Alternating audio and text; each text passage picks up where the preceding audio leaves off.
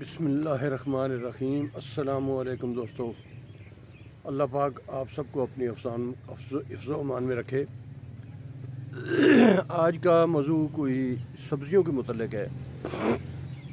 और ये मौजू है कि फरवरी अभी मार्च, जनवरी तो ख़त्म हो चुका है। फरवरी में कौन कौन सी सब्ज़ियाँ लग सकती हैं? और ये मेरी वीडियो उन लोगों के लिए जो घरेलू सतह पे काश करते हैं या जिनका रकबा बहुत कम है, एक दो कनाल या आठ, दस, पंद्रह मरले का प्लाट है, पाँच मरले का प्लाट है, या इस तरह की चार दीवारी की जैसे जगह जिस मैं खड़ा हूँ, इस इस किस्म की जगह है, छोटे रकबे के लिए, उन लोगों की, या उन लोगों को जो किचन गार्डन करने चाहते हैं, घर में कई लोग, शहरों में जगह तंग होती है दिन सेन में भी कोई जगह नहीं होती छतों में लोग शौकिया तौर पे सब्ज़ियाँ काश करते हैं। तो ये उनके उनके लिए है। तो बड़े ज़मींदार जो हैं उनके लिए अलग, बहुत से लोग वीडियो बना रहे हैं और कर रहे हैं।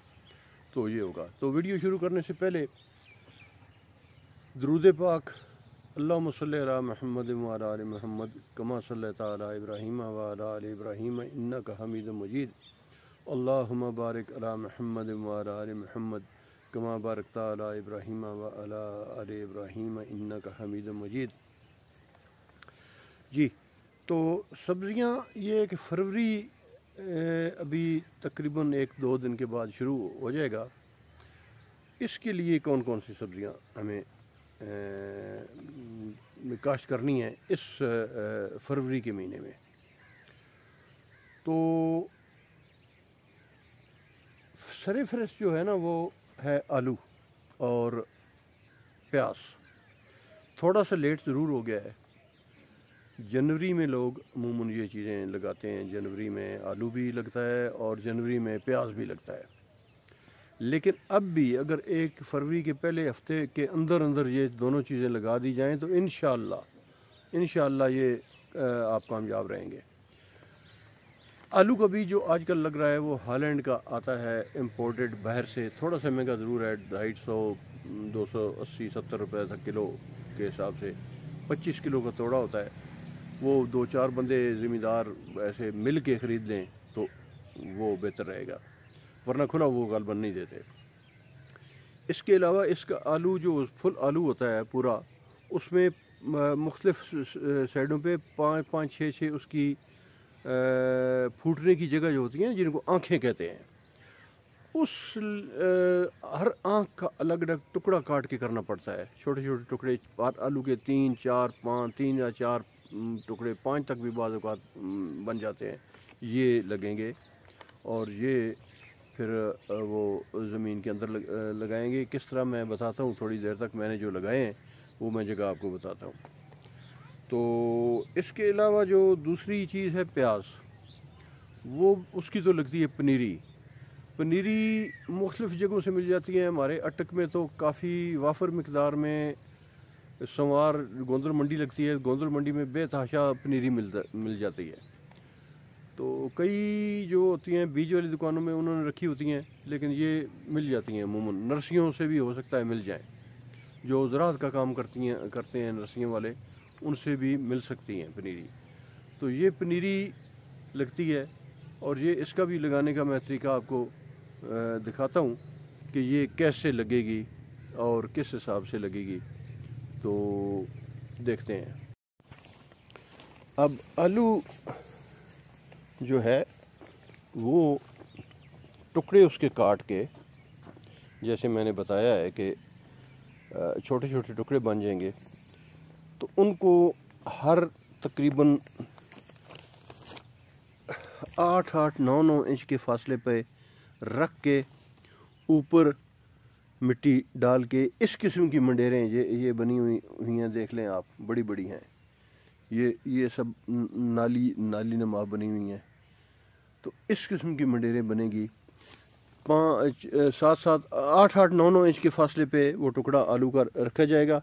और उसके ऊपर इस तरह मिट्टी डाल के इस किस्म की मंडेर बना दी जाएगी। ये ये सारा ये लगा हुआ है।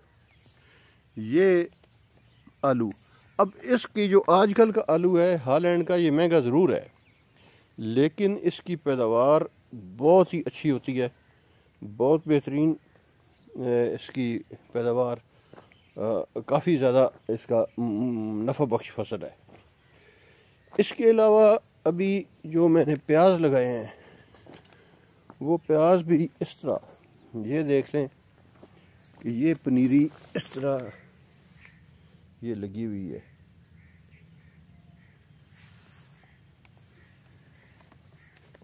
ये पनीरी पौधे से पौधे का फासला छः इंच, ये देख लें आप। और लाइन से लाइन का फासला सात, आठ इंच, नौ इंच तक होना चाहिए। और ये इस तरह लगेंगे तो ये पनीरी की शक्ल में मिलता है। इसकी पनीरी मैं दिखाता हूँ, ये अभी कुछ मैंने बचा के रखी हुई है। ये ये वाली। तो ये इसमें से छांटी की है ना, ये बड़ी गड्डी है। इसमें से ये बारीक, ये छोटी, ये ये हैं छोटी छोटी ये ये जिस अंगली मेरी लग रही है, ये बिल्कुल बारीक बारीक थी। इसको मैंने अलग कर दिया ताकि ये सेहतमंद जो बीज होना चाहिए, वो लगना चाहिए। तो ये है जी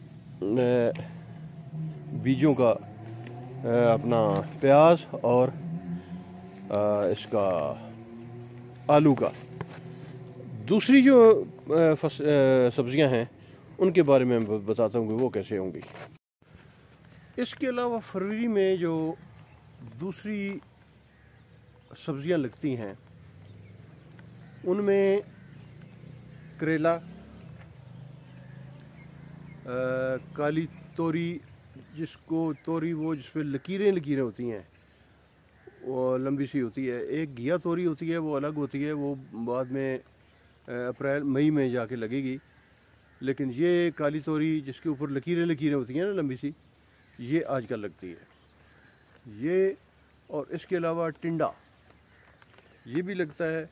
इसके अलावा लौकी, भिंडी कद्दू, ये चीज़ें खीरा और तरबूज, खरबूज अगर ये भी आप लगाना चाहें तो ये भी अभी लगेंगे।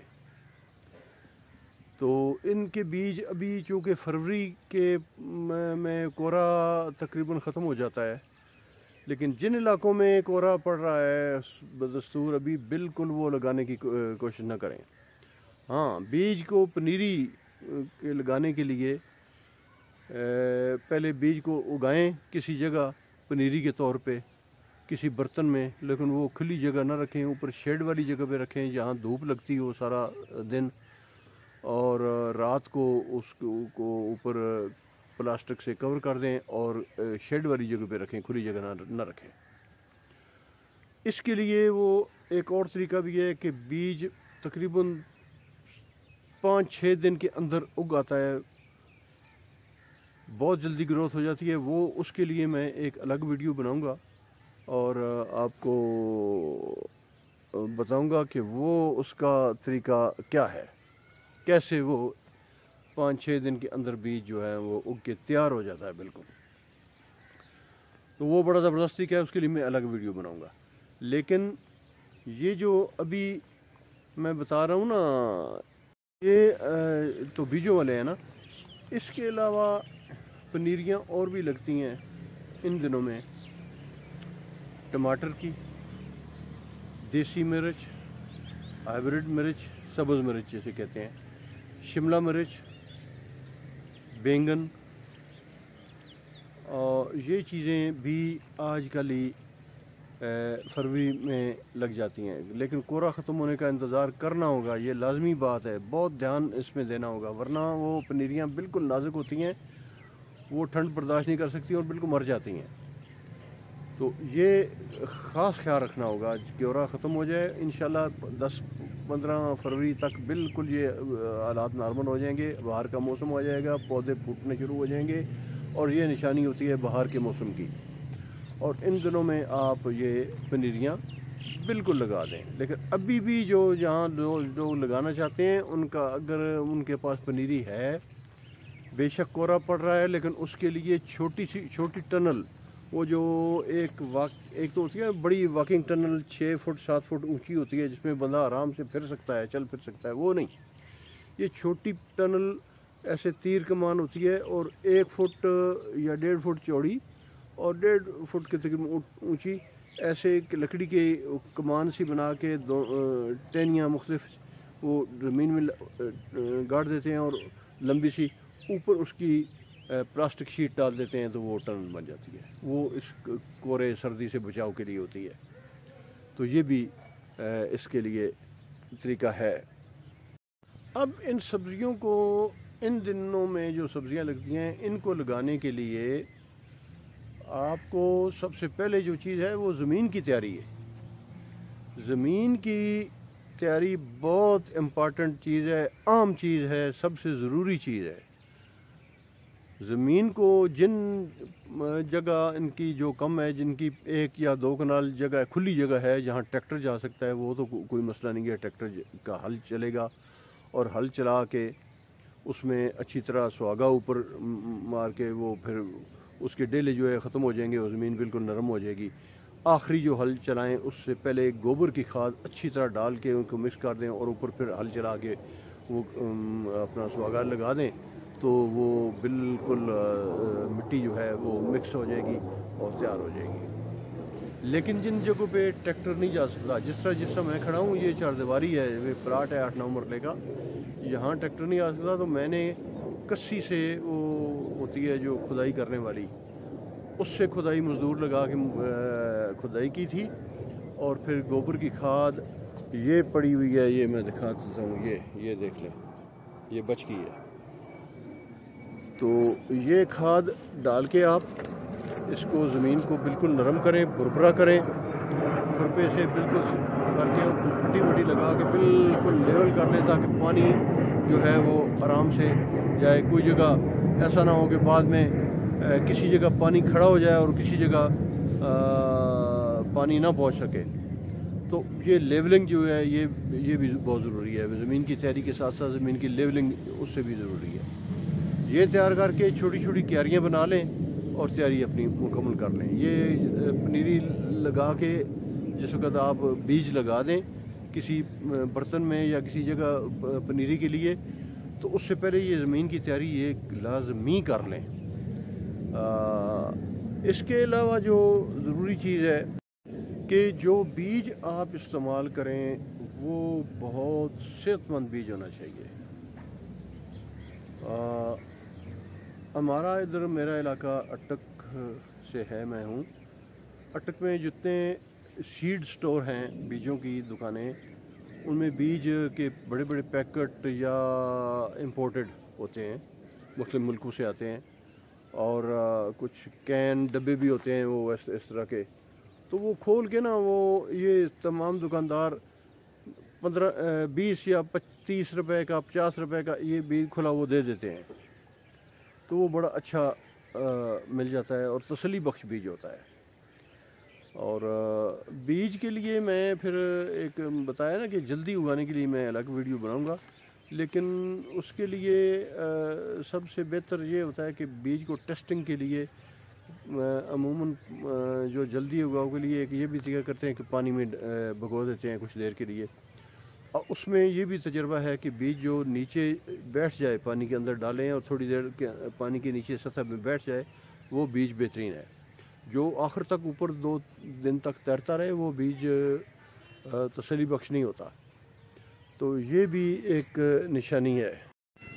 बीज, अच्छे बीज के साथ साथ और ज़मीन की तैयारी के साथ साथ जो और एक बात है कि वो खादों की, खादों का इस्तेमाल। मैं तो जगह मेरी, चूँकि आठ नौ मरने ये जगह है।